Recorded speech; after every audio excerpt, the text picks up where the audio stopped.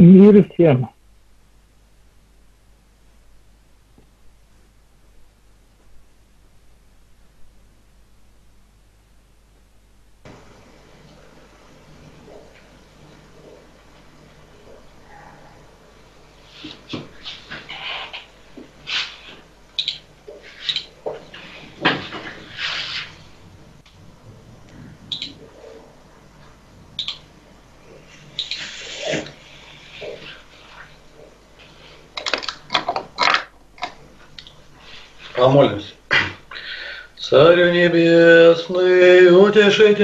Души истины, и же везде сы, и вся исполняй сокровища благих, и жизни подателю принеселися вны, и очистены от всякие скверны, и спаси, блаже души наша.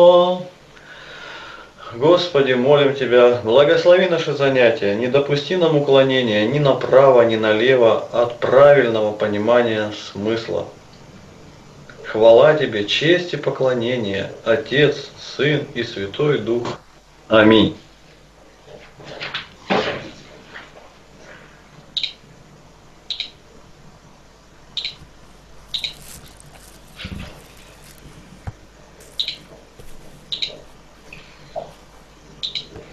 Сегодня 17 апреля. Мы продолжаем разбор пособия по изучению Евангелия от Марка. 8 глава с 27 по 33 стихи. «И пошел Иисус с учениками своими в селение Кесарии Филипповой. Дорогу он спрашивал учеников своих, «За кого почитают меня люди?» Они отвечали, «За Иоанна Крестителя, другие же за Илью, а иные за одного из пророков. Он говорит им, а вы за кого почитаете меня? Петр сказал ему в ответ, ты Христос, и запретил им, чтобы никому не говорили о нем. И начал учить их, что Сыну Человеческому много должно пострадать, быть отвержену старейшинами, первосвященниками и книжниками – и быть убиту, и в третий день воскреснуть. И говорил о сем открыто, но Петр, отозвав его, начал прикословить ему. Он же, обратившись и взглянув на учеников своих, воспретил Петру, сказав, «Отойди от меня, сатана, потому что ты думаешь не о том, что Божие, но что человеческое». Область Кесария Филиппова лежала значительнее севера озера Генесарецкого. На пути в Дамаск к юго-востоку от горы Ермона и других ливанских гор. Каждому из нас придется дать ответ на этот вопрос. Обыкновенно обаяние человека уменьшается по мере близкого знакомства с ним. Так ли со Христом? Чем ближе знакомишься с ним, тем более в душу вкрадывается убеждение, что это неземная личность. Будь милостив к себе, Господи, да не будет этого с тобою. Матфея 16:22. Нам трудно представить себе, какое адское искушение скрывалось под этим доброжелательным на вид советом предстоящее крестное страдание и все, что было связано с этим, было ужасным событием для Христа, и предложение отказаться от этого было, наверное, искушением, преследовавшим его на каждом шагу. Евангелие от Матфея, 26 глава, 53-54 стихи. Или думаешь, что я не могу теперь умолить Отца моего, и Он представит мне более, нежели 12 легионов ангелов? Как же сбудется Писание, что так должно быть? Евангелие от Луки, 4 глава, 5-6 стихи. Сейчас откроем.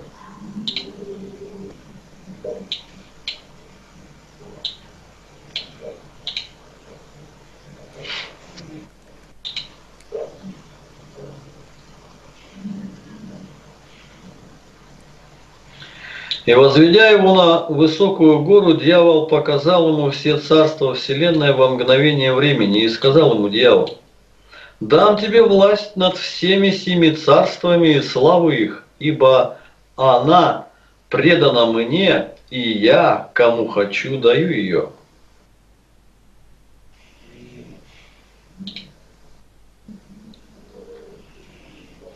Двадцать вторая глава, сорок второй стих Евангелия от Луки.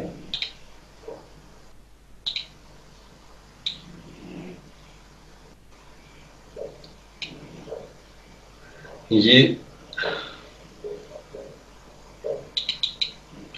Говоря, отче, о, если бы ты благоволил пронести чашу сию мимо меня, впрочем, не моя воля, но твоя да будет. Евангелие от Иоанна, 18 глава, 11 стих.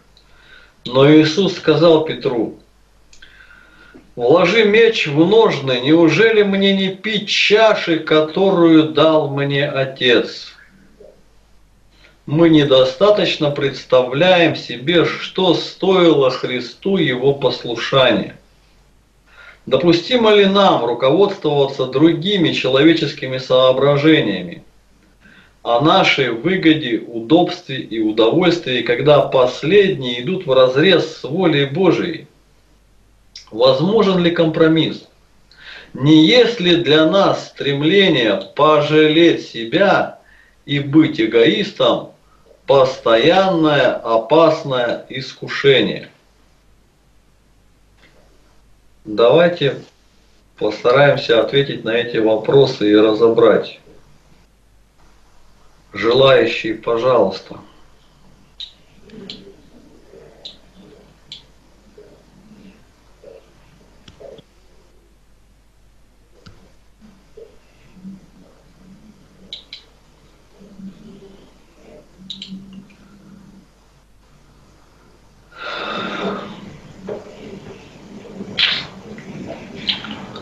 Вопросы-то понятные, и ответы тоже понятные. Что да, действительно, это постоянное опасное искушение, и мы каждый день в утренней молитве молимся, не веди нас в искушение, но избавь нас от лукавого.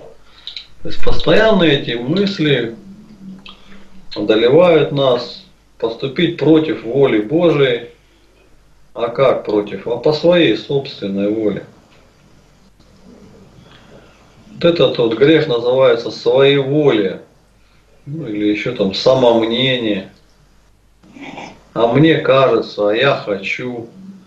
Ну, эгоизм еще это называется, когда в разрез идет с волей Божией.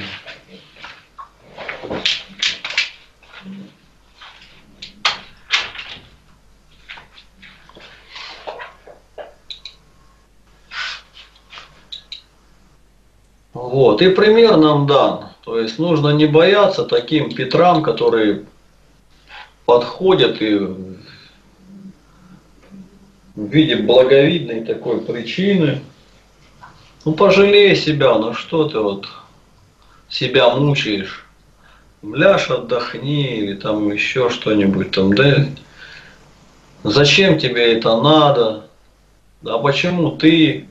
Почему не другие? Вот все эти вопросы. А что ты лучше других? Это все вот эти вот э, искушения в духе вот человеколюбивого Петра. И нужно нам научиться на эти вопросы отвечать по-христиански, так как наш учитель отвечал. Отойди от меня, сатана, ты мне соблазн. Вот. И нужно понимать, что это соблазн. Вот.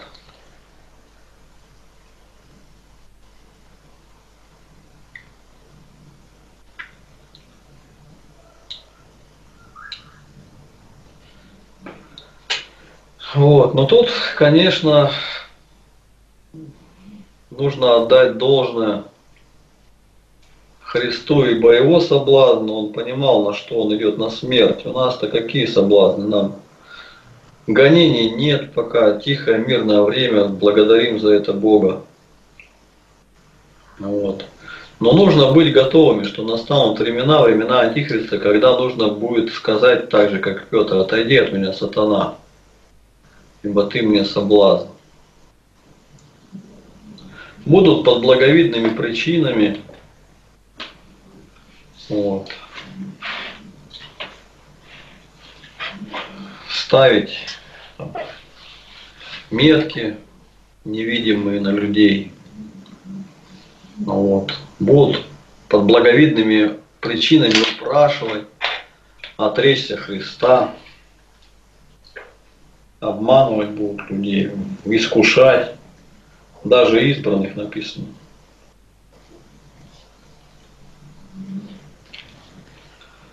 Вот. Это было и во времена советской власти безбожная власть предлагала сотрудничество в обмен на сытую жизнь.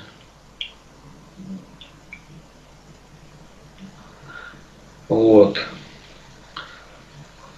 Была эта декларация предательская. Сергия наша в радости, ваша радости. Но были в то время и мученики, которые сказали, отойди от меня, сатана и были замучены этой безбожной властью. И сегодняшняя церковь этих мучеников не хочет признавать. А вот в чем беда-то еще.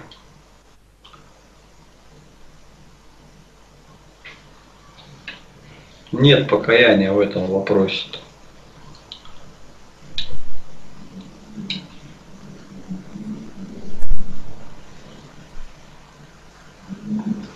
Так, ну кто-то хочет высказаться, пожалуйста.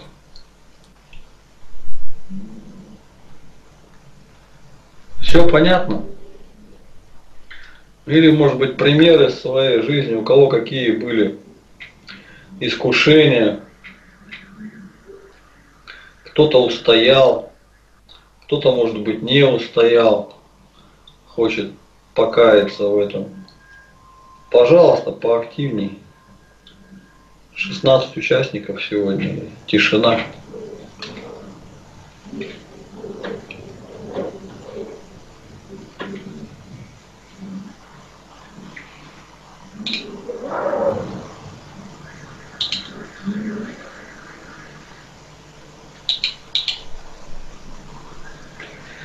Евангелие от Марка, 8 глава, 34-38 стихи. И подозвав народ с учениками своими, сказал им, кто хочет идти за мною, отвергни себя и возьми крест свой и следуй за мною. Ибо кто хочет душу свою сберечь, тот потеряет ее. А кто потеряет душу свою ради меня и Евангелия, тот сбережет ее. Ибо какая польза человеку, если он приобретет весь мир, а душе своей повредит? Или какой выкуп даст человек за душу свою? Ибо кто постыдится меня и моих слов, вроде всем прелюбодейным и грешным, того постыдится и Сын Человеческий, когда приидет во славе Отца Своего со святыми ангелами. И подозвав народ с учениками своими, сказал им, кто хочет идти за мною, отвергни себя, и возьми крест свой и следуй за мною. Ибо кто хочет душу свою сберечь, тот потеряет ее. А кто потеряет душу свою ради меня и Евангелия, тот сбережет ее. Ибо какая польза человеку, если он приобретет весь мир, а душе своей повредит? Или какой выкуп даст человек за душу свою? Ибо кто постыдится меня и моих слов, вроде всем прелюбодейным и грешным, того постыдится и Сын Человеческий, когда приедет в славе Отца Своего со святыми ангелами. Что послужило поводом для ниже следующего изречения Христа? Вопрос. Желающие.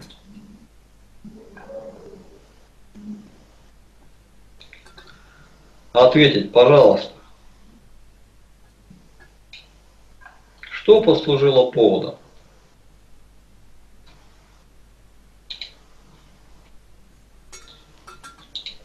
Семнадцать человек и тишина. Алексей Могучев, как думаешь? У тебя микрофон не выключен.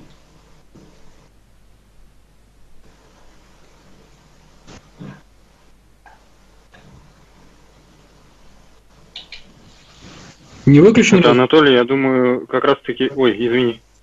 А, ничего, ничего, говори, говори. Да просто мне кажется, что как раз вот то, что Петр подошел и сказал Иисусу Христу, да не будет с собой этого, это как раз и послужило причиной, э, ну, как бы вот сказать э, то, что мы прочитали. Да, совершенно. То есть как бы обращ... обращаясь к Петру и одновременно ко всему народу, что нужно отвергнуться себя и не бояться. Да. Совершенно верно, не поспоришь. Мы имеем здесь один из основных законов Царствия Божия. Действие его также безошибочно верно, как действие закона тяготения в мире физическом. Матфея 10, 38, 39. «Ибо кто не берет креста своего и следует за мною, тот недостоин меня. Сберегший душу свою потеряет ее, а потерявший душу свою ради меня сбережет ее. Вот эти слова понятны? Вот. Ну, некоторые кажутся непонятными. Сберегший душу потеряет, потерявший сбережет. Что такое, как так? Ну, если потеряет, то потеряет. О чем речь?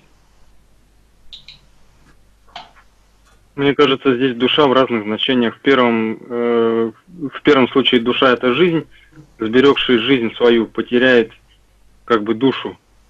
А во втором, то есть, э, ну и во втором случае это душа, то есть именно душа, как бы более широкое понятие. Ну, если... Ну, я думаю, так. Может, имеется в виду потерять душу для мира сего и обретет Царствие Небесное? Ну, то тоже, да, верно. То есть, ну, еще давайте обратим внимание вот впереди, ибо не берет креста своего. Что, о чем речь? Ну, не отвергает себя, наверное. Кто не отвергает себя, тот и ну, креста не нет. может взять. Нет, тут разделение идет. Крест отдельно, отвержение отдельно. То есть э,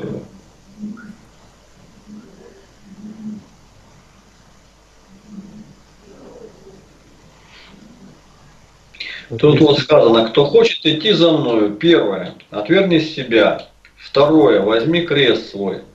Если бы это было одно и то же, было бы так же, отвергни себя и следуй за мной, все. А тут еще, видишь, через запятую.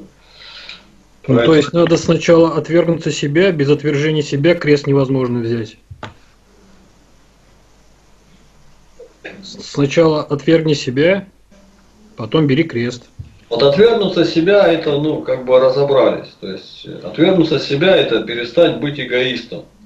То есть свое я отодвинуть на дальний Исполнять план, волю Божию. Исполнять да. волю Божию, да. Вот. Сегодня есть такая категория людей, общественники. Для них общественное важнее личного. То есть в этом плане они вот отверглись своего я, и на первом месте это общественная работа. А здесь Христос дальше объясняет, Ради чего? Не просто ради какой-то там общественно полезной деятельности, а ради меня и Евангелия.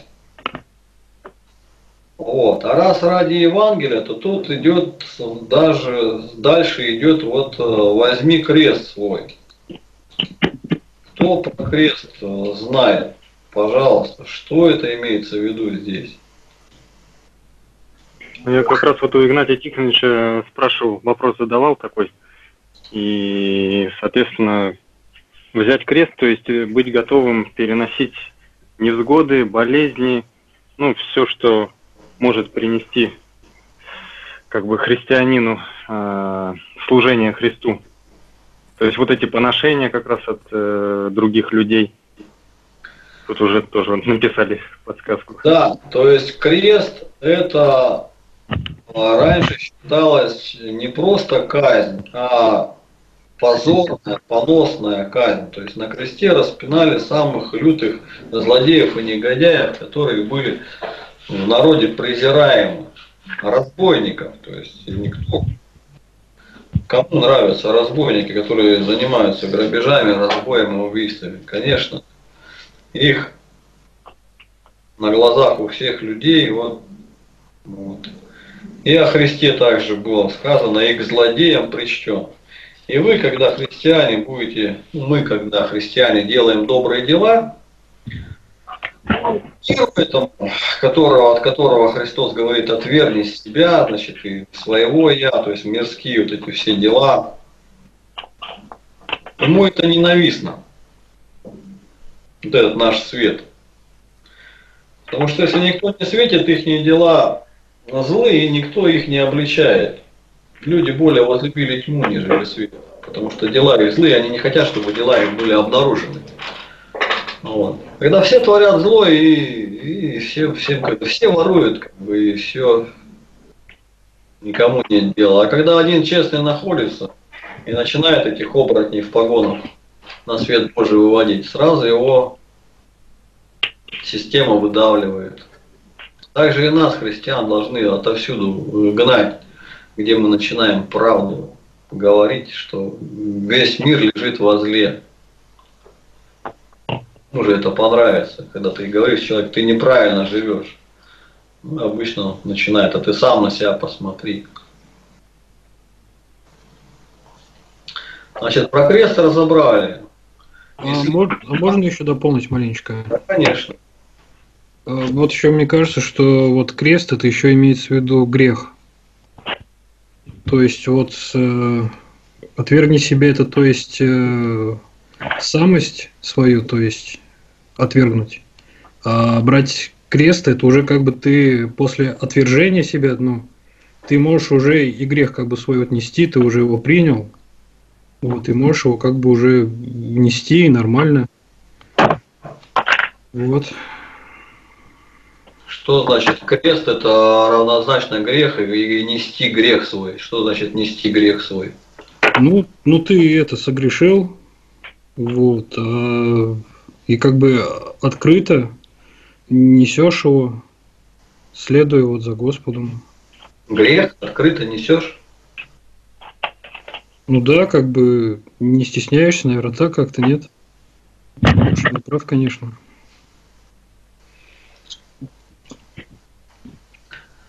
Да нет, конечно. Ну как, как не стесняешься?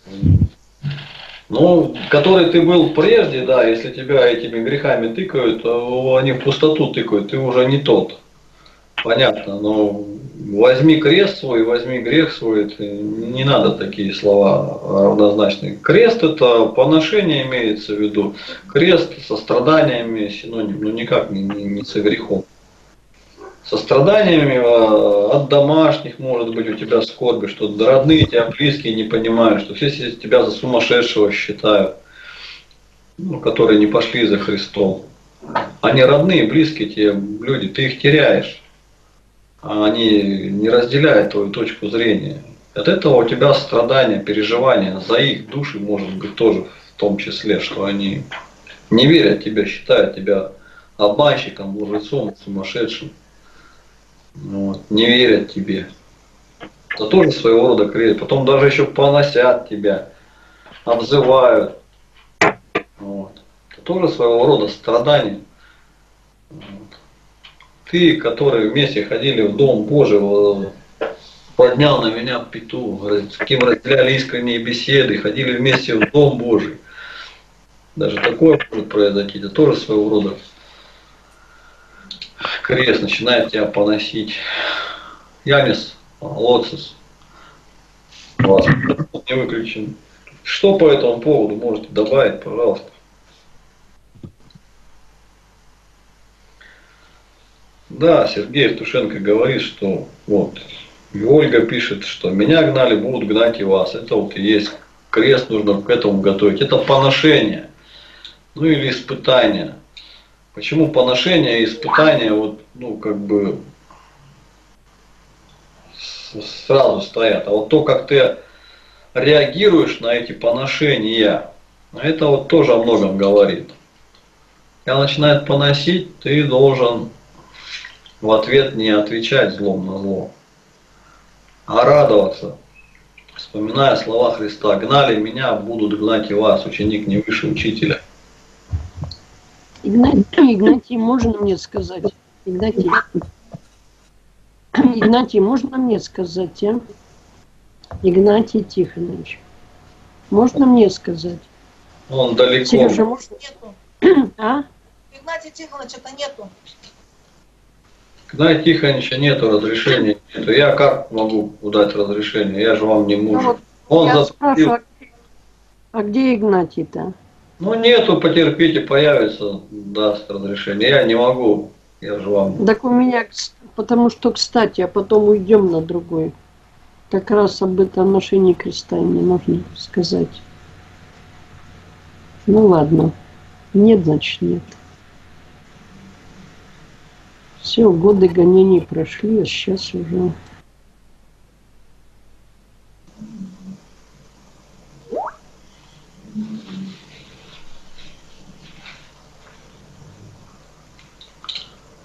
Вот тоже искушение. Муж запретил, а ты, Сергей, разреши. Что я должен сказать? Так она у тебя не спрашивала разрешения. Сергей. А? Она у тебя не спрашивала разрешения, она у Игнатия Тихоновича спрашивала разрешение. Ну, А, потом- а тебя, говорю, где ты, Сергей, говорю, где ты есть? Где ты есть? Сергей, где, говорю, Игнатий? Ну вы, Ну вот ладно. Сергей говорит, вы не спрашивали у меня разрешения. Она права? Да, я говорю, Сережа, ты, может, разрешишь? Я так сказала, да. Рахиль сразу э, нет, не Ну, я Я хотела про школу сказать, годы гонений. Годы гонений. Да интересно, конечно, что было в годы гонений послушать. Ну, появится Игнатий Тихонович. Вы себе пометку эту сделайте, мы обязательно вернемся к этому вопросу. Вот без разрешения мужа вам запрещено говорить, и не нужно даже и спрашивать про это. Хорошо.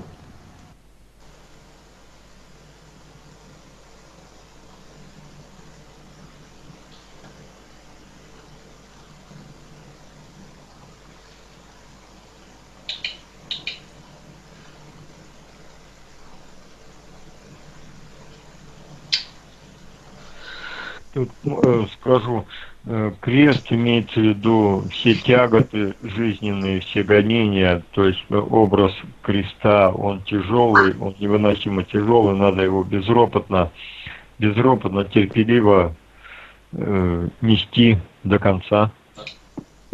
Так понимаю. Истинно так.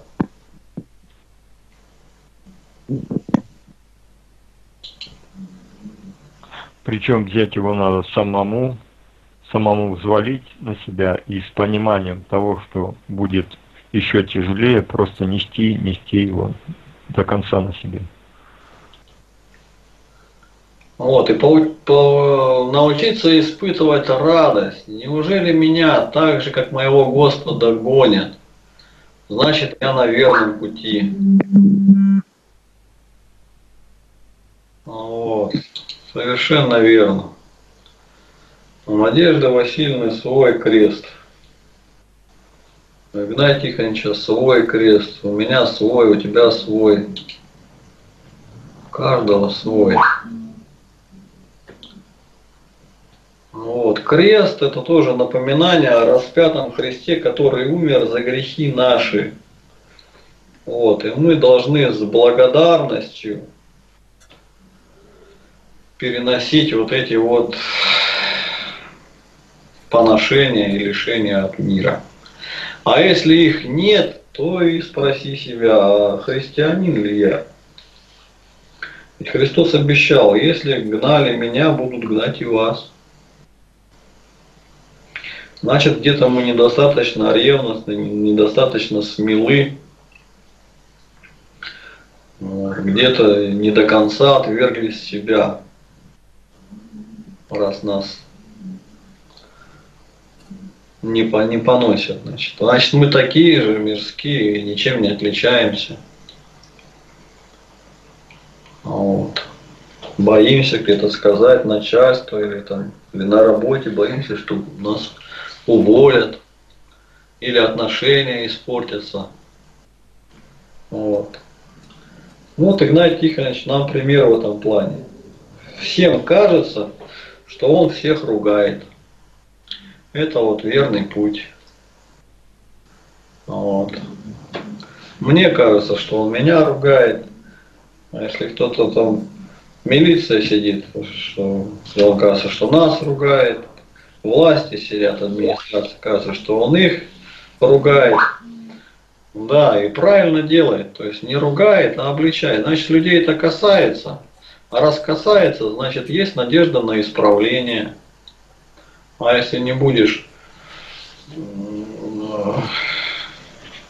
обличать, то ничего и не будет, человек и не исправится. А не исправится, в ад душа пойдет. Поэтому обязанность христианина обличать, но обличать с любовью, без укоризны, в духе кротости. Каждый сам смотря за собой, чтобы не было в ответа. Ты на себя-то посмотри. Учишь не пить, а рот в вине, учишь не красть, сам воруешь. Вот. А если у тебя жизнь безукоризненная, то и смело обличай. Прежде вынь бревно из своего глаза и вперед Тогда научишься, как вынуть сучок из глаза брата своего. А вот вынуть бревно из своего глаза, это вот и есть отвергнуться себя, отвергнуться своих вот этих вот греховных, эгоистических пожеланий. Чтоб тебя со стороны никто не укорял. И дальше, исследуй за мною, Христос говорит. Что это такое? следовать за, крест, за, за, за Господа. То есть такая молитва, дай пройти строго по твоим окровавленным стопам. Вот у нас Виктор Андреевич так молится.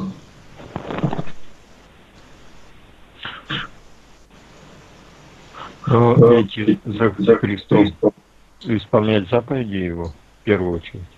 Все заповеди.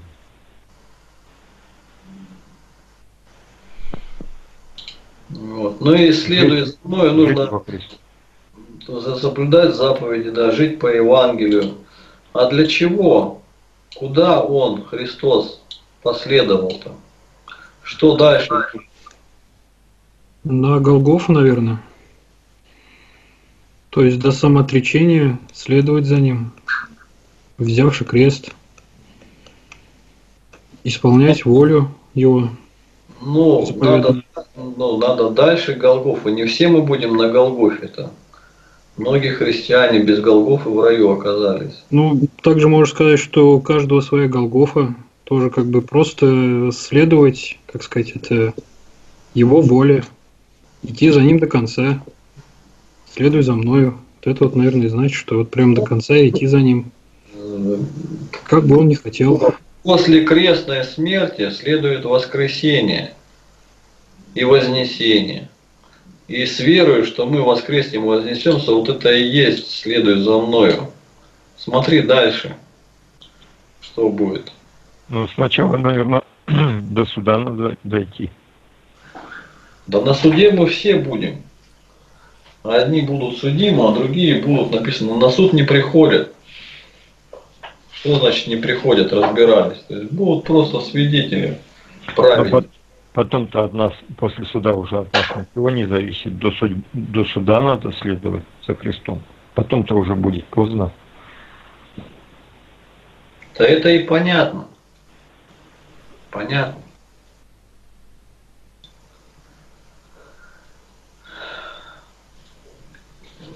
То есть не каждый может нести крест свой, не веря в то, что его ждет ожидание будущих благ. А вот ожидание будущих благ, оно утешает. И написано, после скорби и страданий Господь дает и утешение, чтобы могли перенести. И каждому по мере своей дается скорби, чтобы мог вынести человек. А без веры это вынести невозможно. Вот Христу предлагалось, да не ходи ты на эту Голгофу, да побереги себя.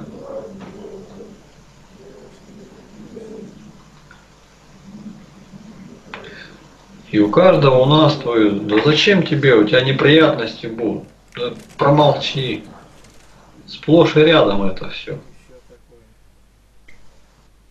И дальше Господь говорит, ибо какая польза человеку, если приобретет весь мир, а сатана весь мир тебе предлагает, как и Христу предлагал, богатство предлагает, а душе твоей повредит. И какой выкуп даст человек за душу свою? Где этот выкуп? На, на суде, там неподкупный судья, там все. Сколько бы ты денег бы не заработал, ничего тебе, они тебе там не помогут. Душе-то повредишь.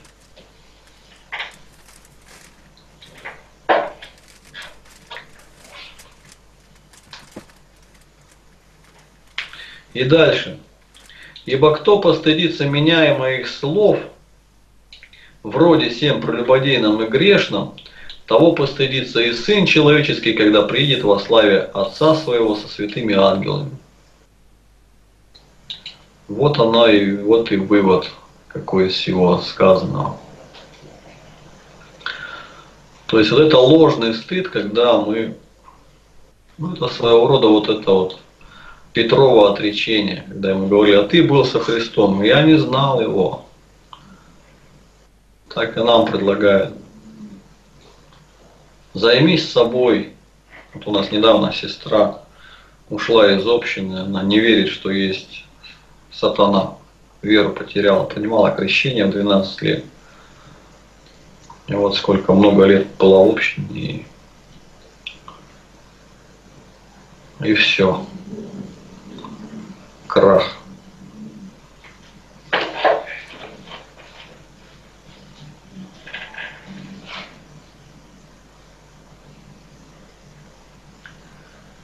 Меня из слов вроде всем прелюбодейным и грешным. Видите, как Господь этот мир характеризует. Прелюбодейный и грешный. Того постыдится и Сын Человеческий, когда приедет во славе Отца Своего со святыми ангелами.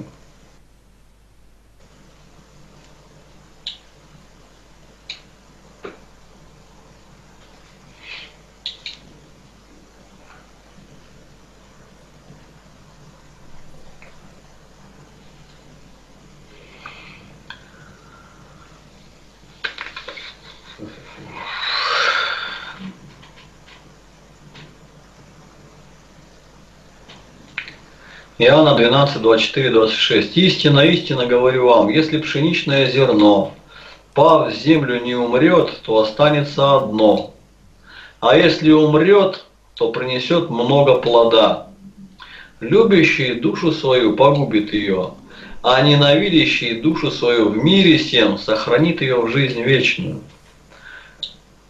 Кто мне служит, мне да последует, и где я, там и слуга мой будет и кто мне послужит, того почтит Отец мой. Идите за мною, очевидно, значит идти вперед, расти в духовном отношении.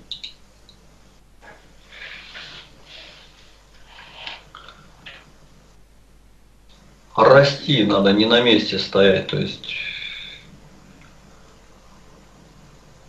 написано также переходите из веры в веру. То есть вера наша должна крепнуть. А крепчать вера должна от наших побед, побед над искушениями и испытаниями. Вот. Тут непонятно. Если умрет зерно, то, то принесет много плода. Вот тут я не понимаю. Ну, объясняю. То есть э, зерно, пока в землю не похоронишь, оно пока его не закопаешь, она не прорастет.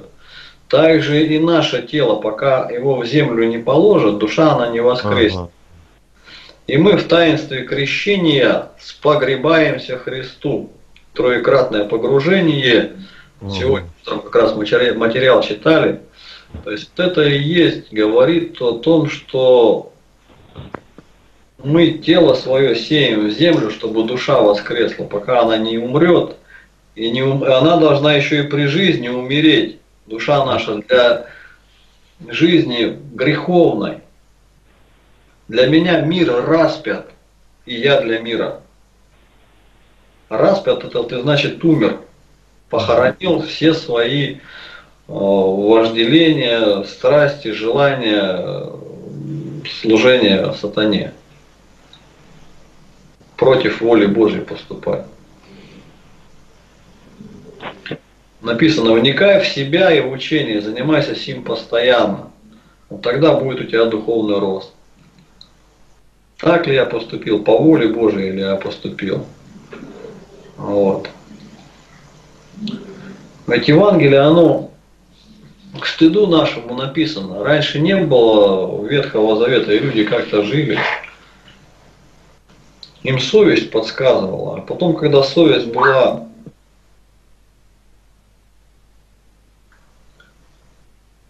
сожжена, тогда вот стал писанный закон.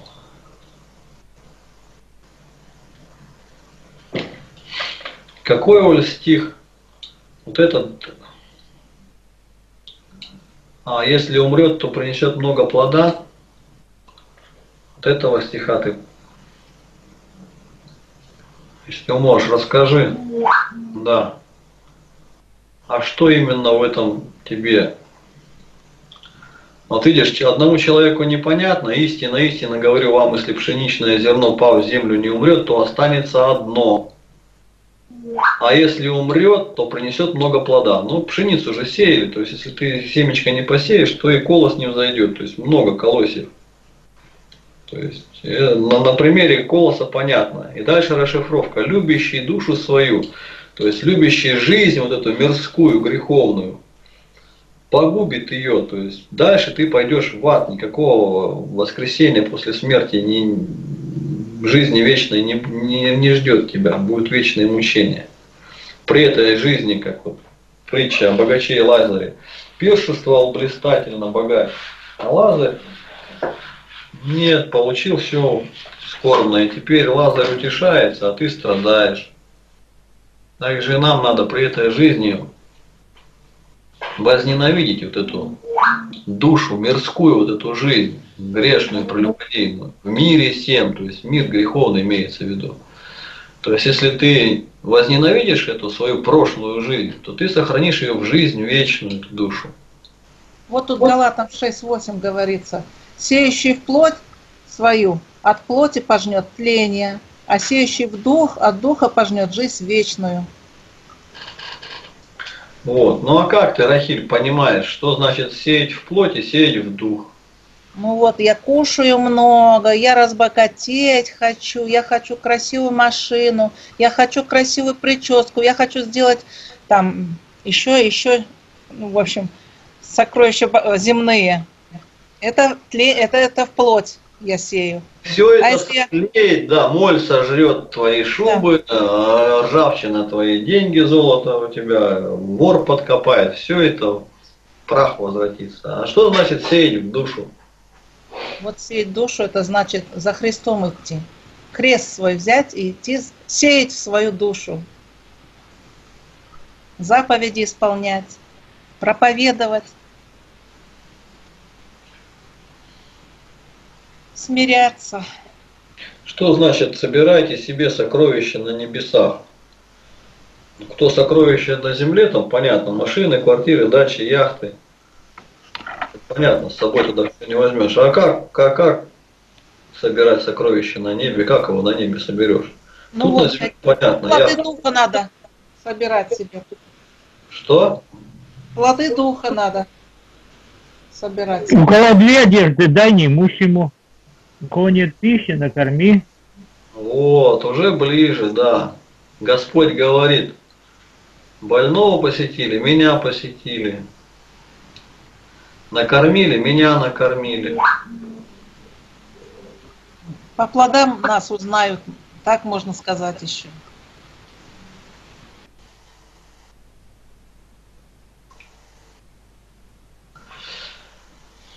Ну давайте прочтем, порассуждали, тут оказывается все написано. Взять крест свой, значит добровольно и открыто взять на себя позор креста Христова.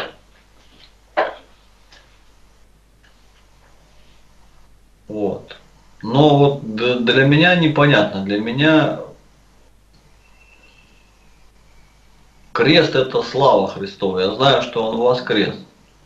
А те, кто не верят в воскресенье, ну как вы можете в распятого верить? Его люди убили. Какой он пророк? Он уже пророк. Это иудеи так считают.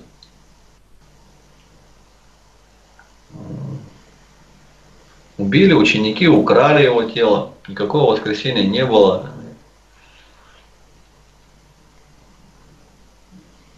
А что значит вот добровольно, открыто взять на себя позор креста Христова? Ну ты правильно, то есть как Христа поносили, гнали, так и вас. То есть ты на себя добровольно и открыто берешь, то есть осознаешь, что став христианином, меня будут клевать, толкать, плевать, заушать, гнать, проклинать, ненавидеть за имя мое, за правду. Есть такое выражение, правда глаза колет. А тем, кому она колет, хочется в ответ тоже кольнуть.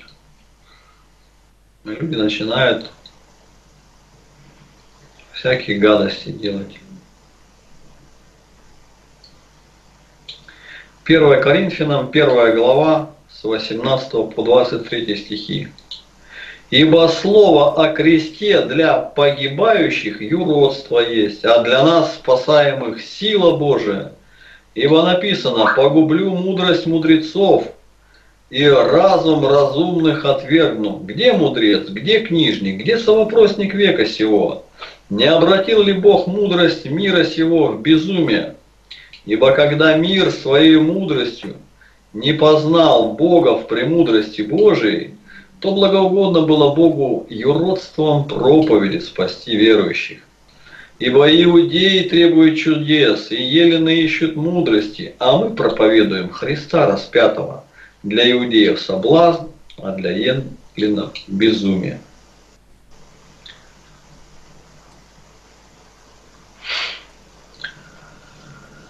Вот. Из этого стиха, что тут непонятно. Слово о кресте для погибающих и родства есть. То есть нужно понимать, что есть люди погибающие, не избранные, не желающие спасать душу, желающие жить во грехе. И когда им говоришь о крестных страданиях Господа нашего, о Его воскресении, о том, что Он жил праведно, что Он призывает оставить грех, покаяться, что Он не желает смерти грешников – вот эти погибающие люди, они считают нас дурачками, юродивыми. Че, один раз живем, ешь, пей, гуляй, веселись, ибо завтра умрем. Но занят не могу говорить, потом перезвоню.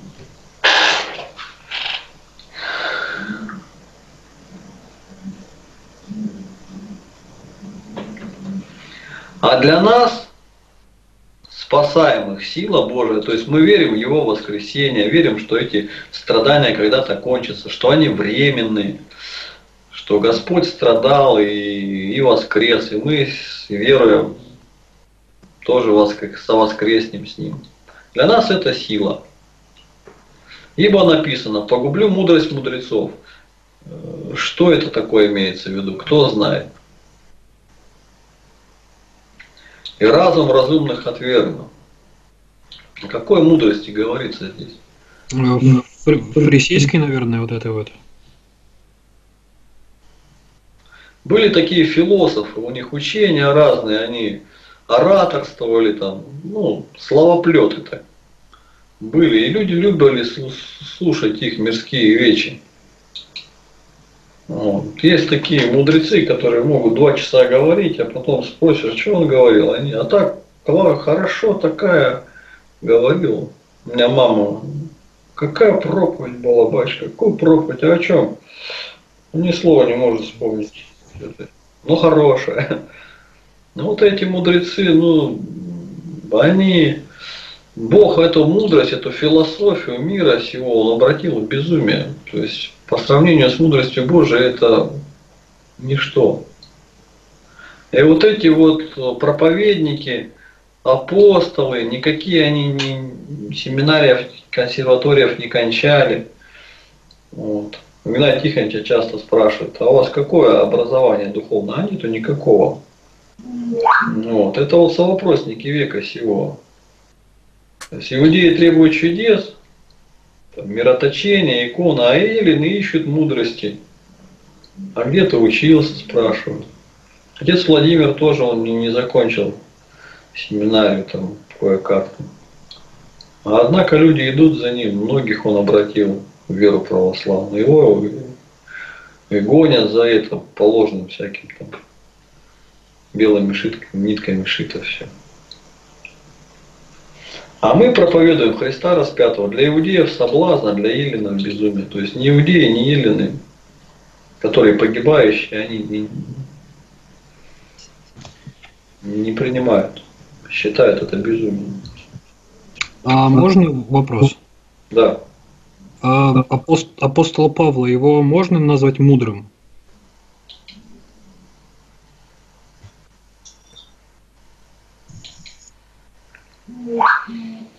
Можно. Надо разделять. Есть мудрость человеческая, мудрость, вот, мудрость мудрецов и мудрость божественная. Вот, вначале он, он был фарисей из фарисеев, он был книжник, он эти все законы соблюдал, но гнал церковь, то есть он не увидел в этом пророке, о котором Писание обещало, не узнал Христа. Потом свет с неба осиял его. Пришла истинная мудрость, нечеловеческая. Вот. Почему Христос всегда говорит книжников, книжники фарисеи, книжники фарисеи? То есть у них в руках был ключ разумения. Сами не открыли и другим не дали. Почему так случилось? Это не говорит о том, что теперь надо все книги отложить святых отцов и вот. Нужно, имеется в виду, что нужно вот эту философию, вот эти ложные всякие религии, о ложных богах, там, о всяких там, отвергнуть все это. Взять Евангелие, Новый Завет, читать толкование. Здесь истина. А то все безумие.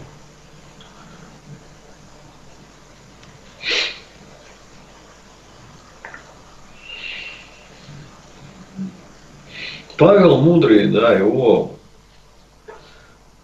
его послания евреи не, не любят.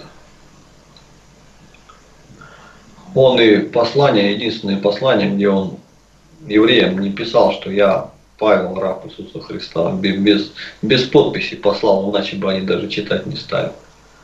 Он-то для них предателем оказался. То есть он был с ними, а потом пошел за Христом. Сначала они вместе гнали христиан, а потом он стал их защищать. Дальше. Отвергнуть себя. Римлянам 6.16. Неужели вы не знаете, что кому вы отдаете себя в рабы для послушания, того вы и рабы. Кому повинуетесь?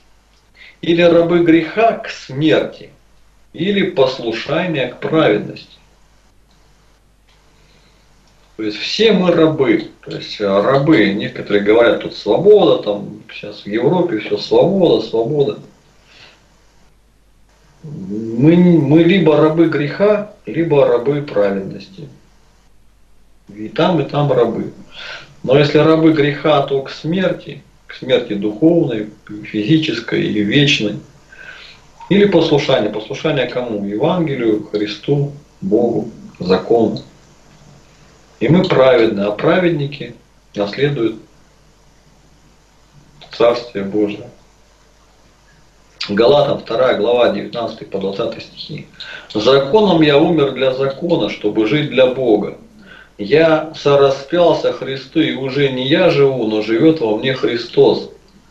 А что ныне живу во плоти, то живу верою в Сына Божия, возлюбившего меня и предавшего себя за меня.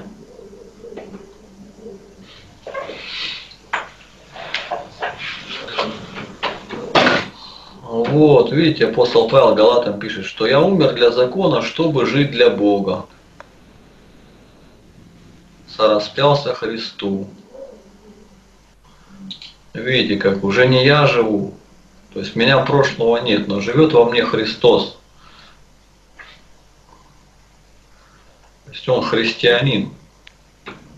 Самое высшее звание человека на земле не генералиссимус, а христианин ибо он сын самого Бога, наследник.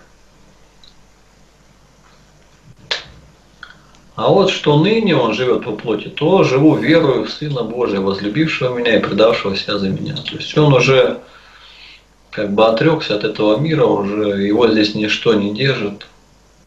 Он говорит, желаю разрешиться и быть со Христом. То есть желаю умереть и быть со Христом.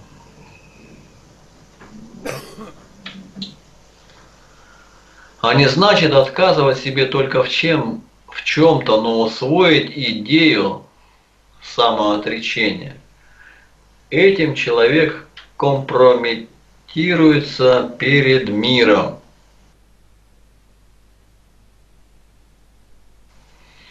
То есть мир, он эгоистичный, то есть закон джунглей, каждый сам за себя. И вдруг тут какой-то выдает идею, что нужно отречься самого себя нужно вот жить для людей, для Бога, для общества, помогать друг другу. Идея это хорошая, но она невыполнимая среди эгоистов. Каждый хочет одеяло на себя тянет. Поэтому такие люди не приживаются, их мир поедает, система их перемалывает, старается во всяком случае избавиться от них. Кого распять? Всех пророков же. Кого из пророков не гнали отцы ваши? Писание спрашивает. Галатам 6.14.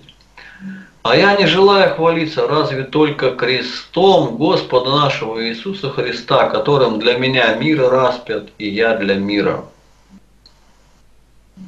То есть, обратите внимание, то есть Христом мир распят, то есть верой во Христа только ты можешь этот мир отвергнуть. А без веры во Христа, что Он победил мир, это невозможно никак.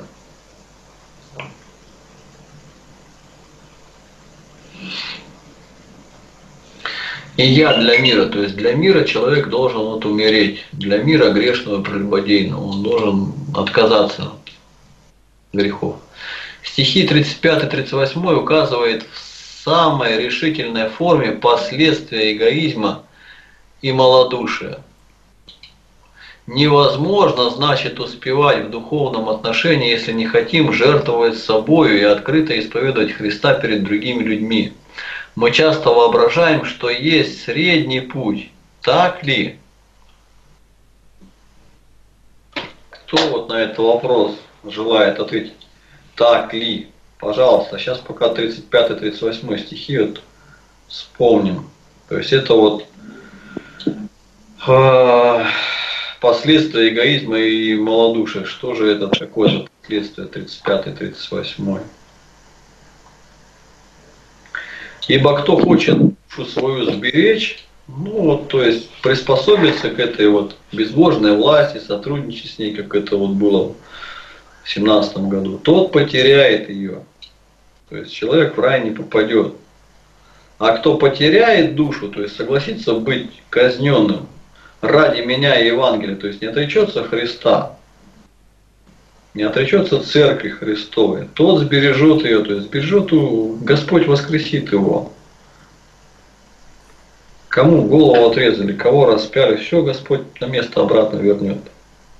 Ибо какая польза человеку, если он приобретет весь мир, а душе своей повредит?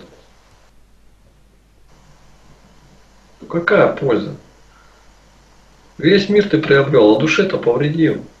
Или какой выкуп даст человек за душу свою? Ибо кто постыдится меня из слов моих, вроде всем прелюбодейным и грешным, того постыдится и Сын Человеческий, когда приедет в славе Отца Своего со святыми ангелами.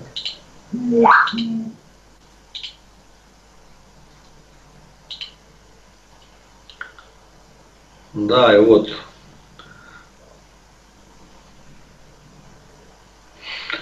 Ольга говорит, что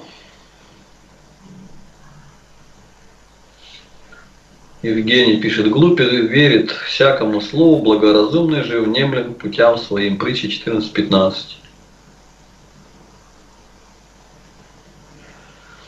Так, вопрос. Так, Игнатий Тихонович прошел курс ускоренный, когда его хотели рукоположить.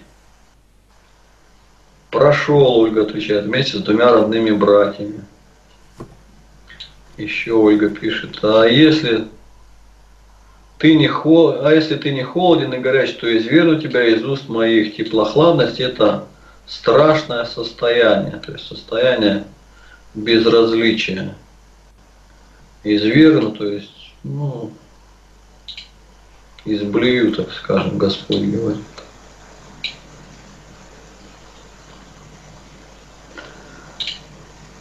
Час прошел, пожалуйста, вопрос, когда тихонько.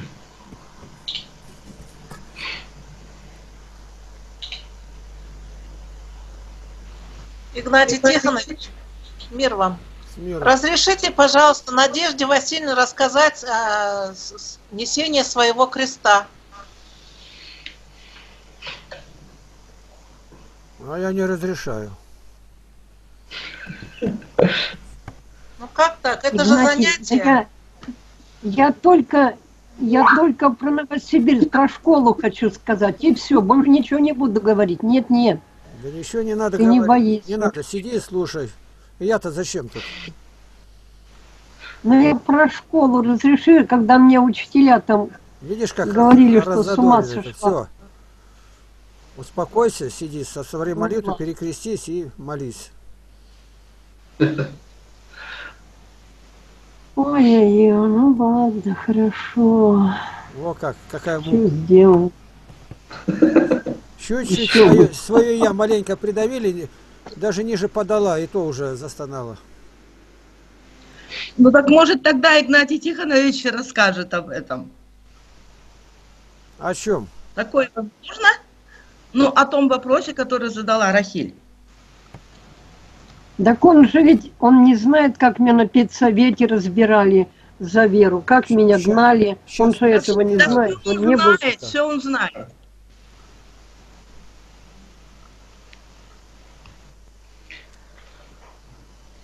Так, другие вопросы есть помимо креста? Искушение.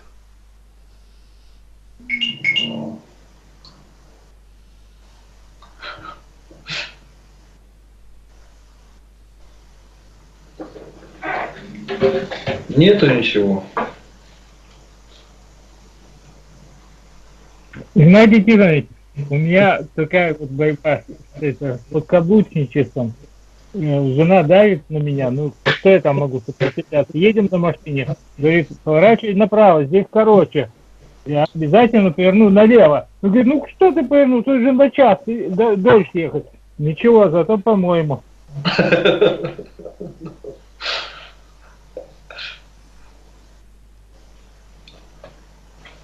А тут как будто вы тоже не правы, Янис. Ну, упертость свою показали, а не мудрость. Ну как-то себя надо же защищать, а то совсем...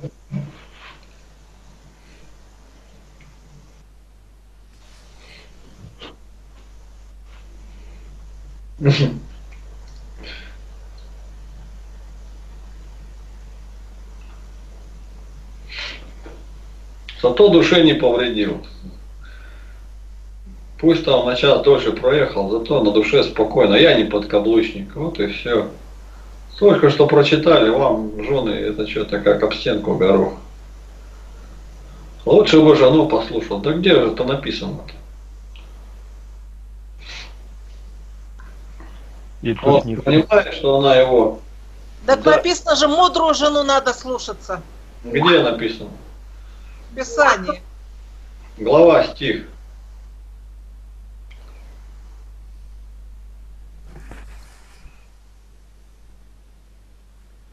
Глава, стих, Рахиль, найди.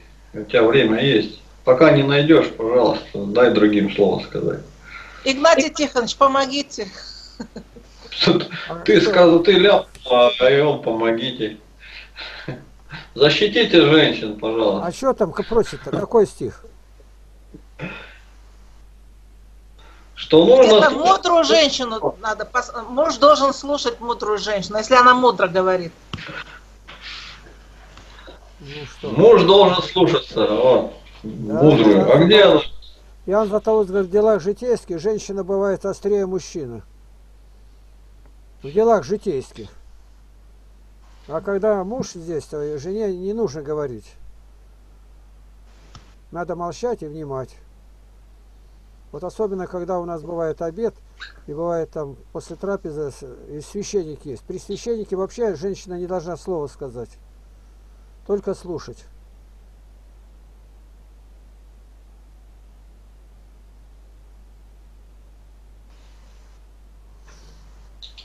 От мудрости жене Бог не дал. Дает мудрости Господь.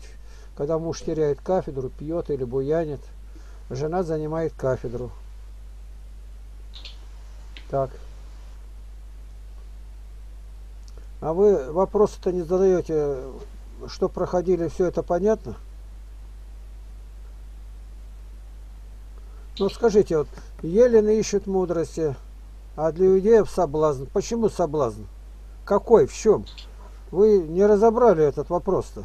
Я тут на каждом стихе буду останавливать, и все будет непонятно. Вы сами научитесь для себя выискивать такие места, которые требуют дальше разъяснения. Вот ну, где? Покажи. Отвергни себя. Вот надо подробно разобрать. Отвергни себя. Это первый шаг. А чтобы себя отвергнуть, а надо знать, что такое себя, то есть своего я. А свое я из чего состоит-то? Все. Решительно, круглосуточно. И надо все это записать на бумаге. То-то я люблю, то-то обедаю, столько-то сижу за столом, так-то говорю, так звоню.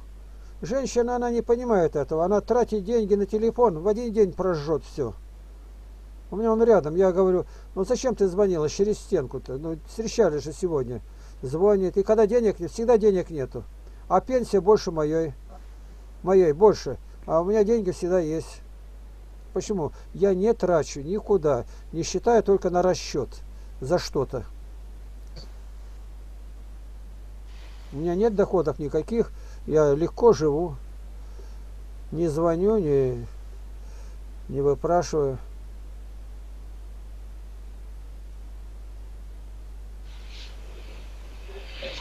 Ну что молчите, ты говорите теперь, почему для иудеев соблазн? Мы проповедуем Христа распятого. Почему для них соблазн? Для иудеев соблазн 2000 лет назад был, соблазн и сегодня. Что Иисус Христос умер на кресте, значит, простой человек, а потом, если сказали, что его украли, и все. Никакой не мессия. То есть они на этом соблазнялись. Что означает соблазнялись? Ну, не поверили, пошли с- другим путем, по своим мыслям. Как они понимали. Вот одна фраза есть, которая это показывала. Какую фразу ему говорили Христу, пока он жив был? Одна фраза, которая... Сойди мы уверуем. Во! Вот это надо Да. писать. Сойди с креста и поверим. А как раз здесь-то и вера уже будет не нужна, если сойдет с креста. Спасение не совершилось, и верить не во что. Потом мы говорим, надо подражать Христу. Вот пишут, надо такие ласковые первые христиане были, такие они ласковые были, и житием своим обращали людей. Я сразу тогда ответил, а где вы видели ласку? 500 божеств было, которые в Римской империи, это многоконфессиональная была держава настоящая, самая сильная в мире. Казалось бы, живи да и живи, и тебе дают место, ниша для Христа. Христиан-то никто не хотел ненавидеть, просто даже он, Ливаний, э, учитель Златоуста, и говорил, какие женщины у этих христиан. То есть они смотрели с великой завистью. Какие женщины. Не то, что как поет, ах, какая женщина.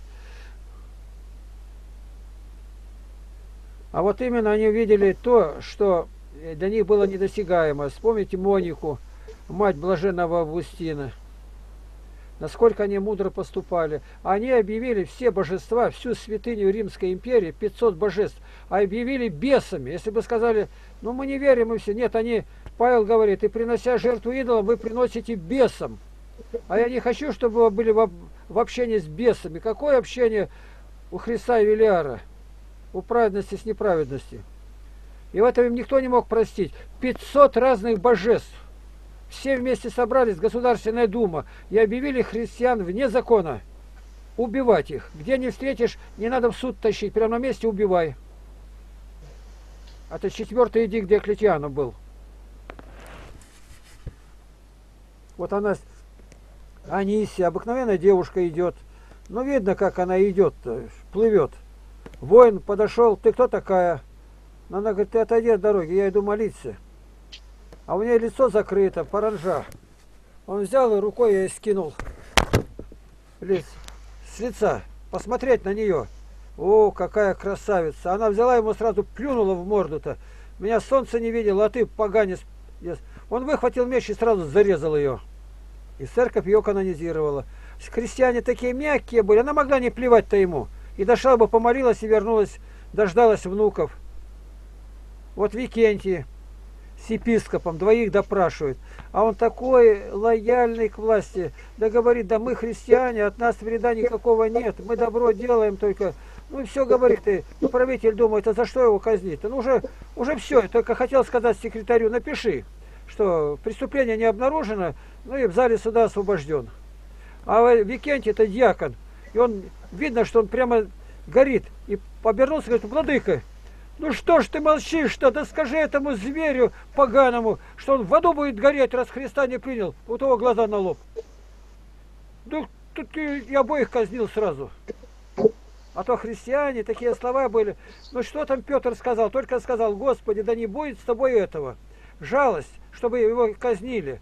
Не будет с тобой этого. Чего особенного сказал-то? Господь мгновенно отреагировал. Отойди от меня, сатана! За что сатана? Какой сатана, когда это человек ревностный к тебе желает? Это мы можем задавать вопросы, ответа нету. Надо только подражать. Подражайте мне, как я Христу.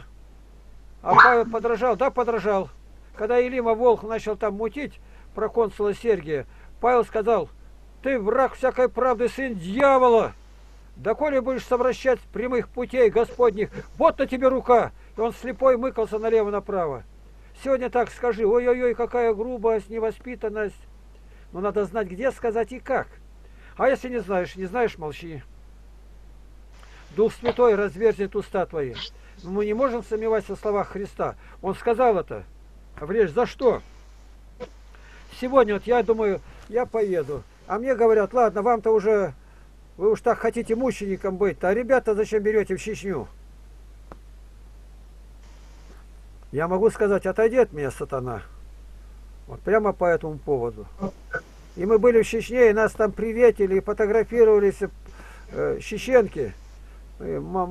там юноши чеченские показали, где и что. И Виктор Николаевич с ними вышел говорить. У нас о Чечне, о мусульманских республиках светлые воспоминания. Особенно в Азербайджане, в доме Мулы, когда были, как я в мечеть пришел молиться у них. А нельзя молиться. Ну нельзя и сиди дома. Тебе нельзя, и что теперь?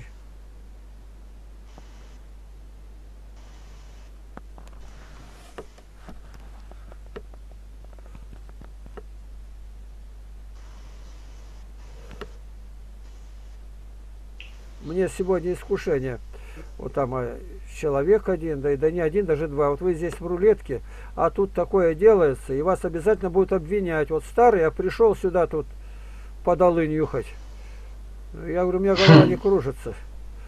Это вы тут сидите. Я пришел, врачей надобность у больных, а не у здоровых. И стал говорить, и сегодня такие записи сделал хорошие. С одним больше двух часов беседовали. У него вопросы и вопросы идут. Я это все выставлю. Вот я сколько здесь? Сегодня будет, наверное, 20 20 значит, февраля, 20 марта 2 месяца, 60 дней, 20 10 это 70, 10, ну и тут 15. 76 дней примерно я нахожусь. Составлено 340 роликов в рулетке. 340. Ну вот прикинь теперь, какая работа проделана тут была. То есть я разные варианты избирал беседовать, не смотреть, а просто читать Евангелие, подряд слушали, псалтырь и прочее. Сейчас вот один остался, и опять у меня где-то уже шестой метод примерно на нем остановился. Как вдвоем, как одному, кому как отвечать. Это работа. А чем вы занимаетесь? Я говорю, ты с тобой сейчас и занимаюсь. Чем я занимаюсь?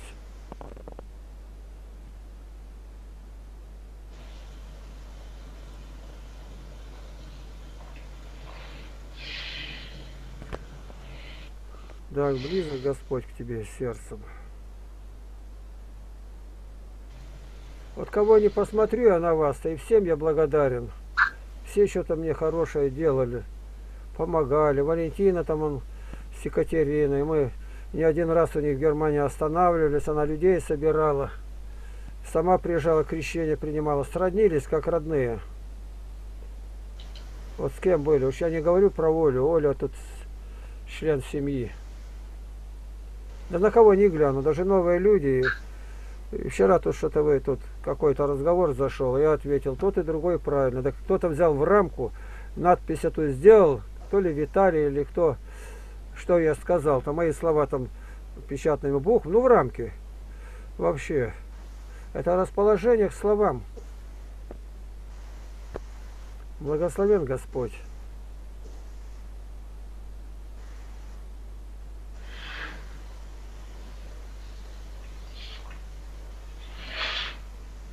Думал о человеческом, Петр. Правильно. О человеческом. Нам не чуждо, что человеческое, люди говорят. Человеческое означало совершенно не думать о Божьей миссии. Да не будет с тобой это. Когда пророчество, он восстал, Петр против пророчества. Он был изъязлен за грехи наши, мучим за беззаконие наши. Наказание мира нашего было на нем, и ранами мы исцелились. Исайя 53 глава. Петр восстал против этого. Как простал? Но ну, он сказал, не будет с тобой этого. Ты, Господи, побереги себя. Пророчество не сбылось, искупления нету. Спаситель не родился. И Господь понял, что через Петра подошел сам дьявол. Это самое страшное было. И вот когда его распяли Христа, а возмездие за грех смерть, а греха-то нет, жало смерти грех. Жало, грех. А греха нету. Он укусил жало-то, а нету, яд-то у него самого и потек. И он завопил, что садись с креста и поверим, сойди. Это дьявол кричал, только рты распяленные были у людей.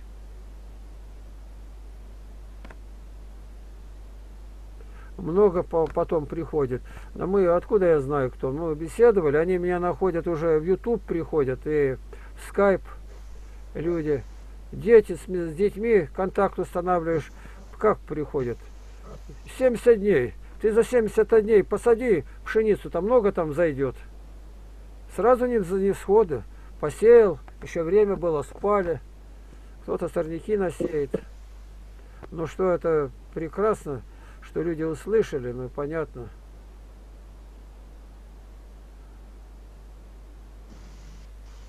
Идеям соблазна, Еленом безумие. Почему безумие Еленом? Проповедь о кресте. Почему безумие для Еленов? Отвечайте.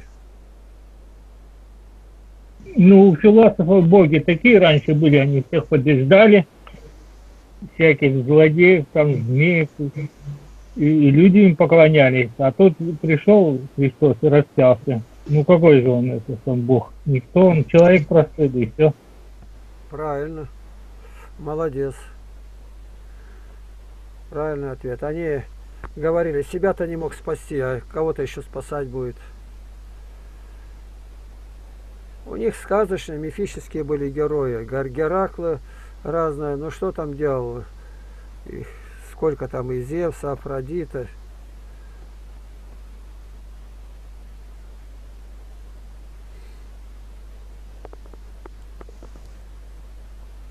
Так. Значит, у нас где-то в 7 вечера, в 7, в субботу прилетит, если этот Шахматов, будет уже беседа. Сергей его встречает сразу в гостиницу, а потом за нами. Я буду не один, беру с собой Галину Загуляеву, чтобы на два аппарата снимать. А я когда с ним списывался, Игнатий Тихонович, он говорил, что только э, мне одному разрешено. Но Ну, я ему задал этот вопрос, Разрешено. он пока не ответил. Разрешено. Они там командуют. Зачем это нужно? Это гость мой, а не их. Что у них, место проели или что-то? Заплатим. Они сказали. Чего они хотят? Там договорились он с ними? Где это ограничение в корреспондентах никогда не было? Я еще приглашу и фотографов с Алтайской правды. Он хочет сначала снять интервью, а корреспонденты потом пресс-конференция после интервью. Да интервью Полтора не, часа. не мешает, будут сидеть. У нас тоже нельзя, нельзя.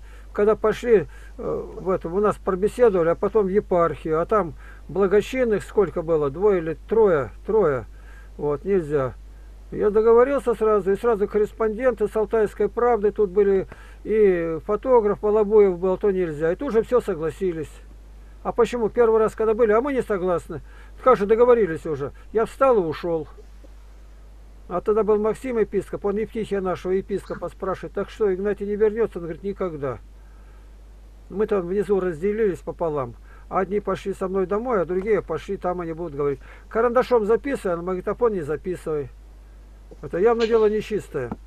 Вот ездили, когда Сан-Франциско, у нас отец Аким ездил и Виктор Андреевич Яковлев. И он рассказывает там, как они шнырили. Никому не давали записывать. Когда же речь шла о признании каноническом друг друга, не об е- а, о даже и слова не было. Но я говорил, не на этом не остановится, так все и получилось. Из всех, которые больше, больше 120, кажется, общин было, только мы двое остались. Две общины. Мы приняли акт, к нам приезжает митрополит, служит, хорошие отношения. Но над нами власти никакой нет, поэтому они ничего не могут с нами сделать. О. Так.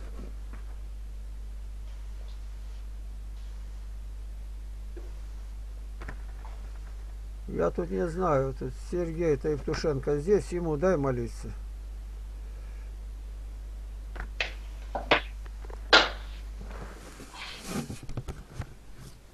Чего тогда молимся? Да.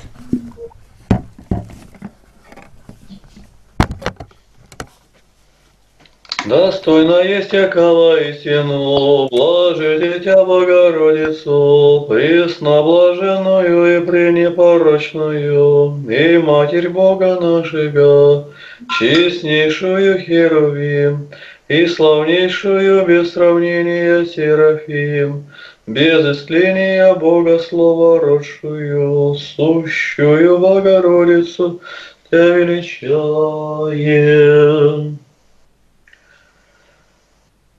Сергей Евтушенко, молись.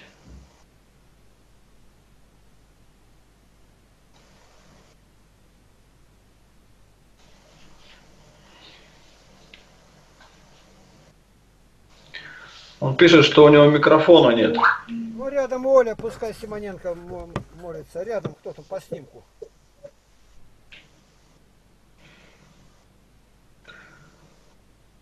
Ольга Симоленко, мо- Симоненко, молись.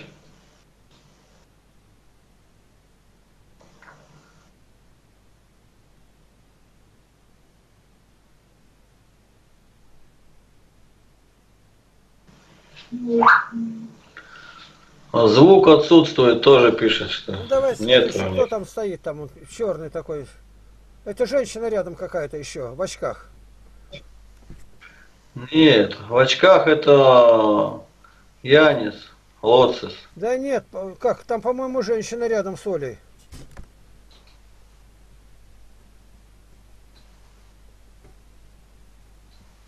Ну там Валентина, Наталья. Ну, ладно. Давай, Сергей, я помолюсь. Давай. Олесь. Отец Небесный, любящий Господь, Бог Яхва, Ава, Отче, благодарю Тебя за эту среду чудесную, за этот день, которого еще не было во Вселенной. Благодарю Тебя за наставление. Напиши на нашем, в наших сердцах закон Твой, чтобы мы могли бы его и исполнить, не только читать и познавать его. Даруй нам талант, как правильно благовествовать имя Твое святое, чтобы люди могли обратиться от слов Твоих из Божественного Писания. Пошли проповедников католикам, православным, мусульманам, буддистам, иудеям, язычникам и всех, кто не познал имени Твоего святого, да познает вся вселенная. Ибо написано, всякое колено и всякий язык преклонится пред Тобой, прославит имя Твое святое. Помоги нам донести свой три- крест до конца, и приготовь души наши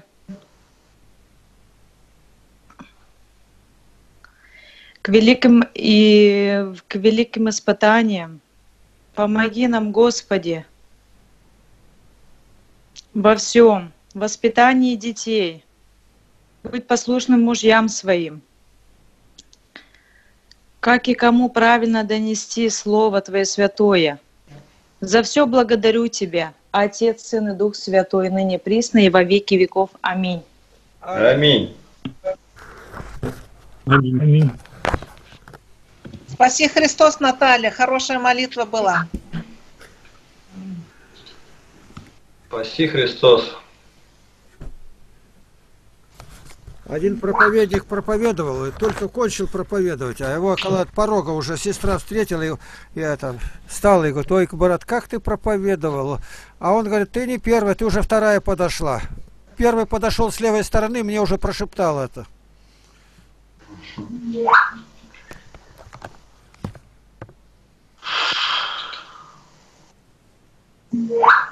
Yeah.